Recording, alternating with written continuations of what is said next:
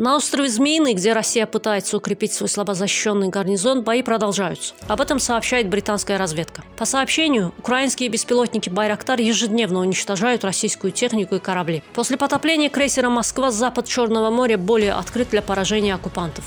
Попытки России усилить свой гарнизон на Змеином острове дают Украине широкие возможности для борьбы с российскими войсками и уничтожения техники. Если России удастся укрепить свои позиции на острове Змеином с привлечением сил ПВО и крылатых ракет береговой охраны, это откроет ей возможность доминированию в северо-западной части акватории Черного моря, говорится в сообщении британской разведки.